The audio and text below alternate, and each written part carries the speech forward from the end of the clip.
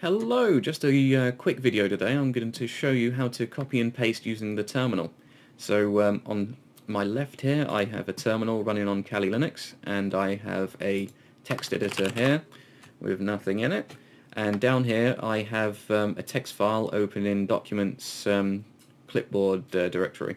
So um, if I double click on that and in my text file it says I like cheese. Now our usual process for doing this would be to select it and then either right click and copy or control C and then go into our uh, our text um, file and then right click and paste or control V and that will copy and paste which is what we're all used to. But what if we want to use the terminal to do something similar? Now first thing you need to do is install a bit of software called Xclip so on Kali, Ubuntu, and any uh, Debian-based Linux, the command would be sudo apt get install xclip and that will install it. Now I've already got it here so it hasn't asked me for any confirmation or anything because it's already there but if you haven't got it installed it will ask you to confirm you want to install it and you just have to press Y and then press enter and then it will install. So we have xclip installed, so now we clear.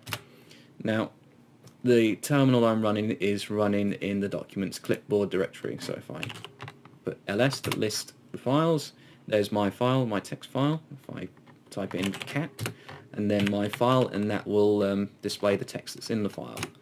So there we go, I like cheese. Now, to um, copy and paste using the terminal, we have to use what's called piping.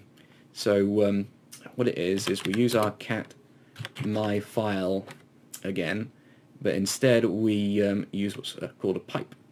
So there's the pipe um, symbol. It's um, if you look at the bottom left of your keyboard it's next to the left shift. So it should be the uh, backslash um, key with um, like an well like uh, the upwards line pipe um, symbol on it. Is it's usually next to the Z so shift and that key should give you the pipe. So now we've got that, we need to pipe that into xclip and tell it to put it in the clipboard. So we type xclip dash SEL for selection and then clip for clipboard. Then enter. Now if I go over to here and press paste, I like cheese, there we go but say we want something else in. So I'm just going to use an echo command now to show you that it's not just left over from our last copy and paste.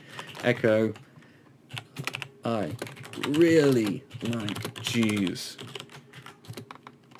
Now that will just, echo will just echo the command back to you. So there you go, you just echo in the string that you just typed in. So if I do that, and then we'll pipe this into xclip, so xclip dash SEL and then clip to tell it to put it in the clipboard, enter, and then we go over here again and paste. I really like cheese. And that's how you use the, uh, the terminal to copy and paste. Now, you may be asking why I've put in this um, cell clip. Well, the reason behind that is there's actually more than one um, clipboard.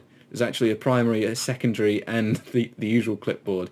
And um, if you um, right click in the terminal, you can actually see one of them here. So it says here paste clipboard and paste selection. Selection actually uses the primary clipboard. It doesn't use the um, the normal clipboard. So um, if I use our command again, and I'm just going to type in this is the selection clip board, primary, and then we get rid of the um, the the dash SEL and then clip, and we're just giving it to Xclip because Xclip uses the primary uh, clipboard as its default scene. So we are echoing this is the selection clipboard slash primary into Xclip, and that's going to go into the selection. So now if I uh, paste selection, this is the selection clipboard. And if I paste clipboard, I really like cheese. So for the most part, all you'll need, like if I clear that up, all you'll need is the uh, xclip-sel and then clip and that will get you what you need for your usual copy and pasting. The, the primary and secondary clipboards, you don't really need to uh, know. If you want to read more into it, you can actually look at the manual page for Xclip. So for all programs in Linux, there's a manual page. You just type in man and then the program that you want to look at. And this will give you all your options about the, uh, the program in question. So you've got all the different flags we can give it. So see here the dash selection.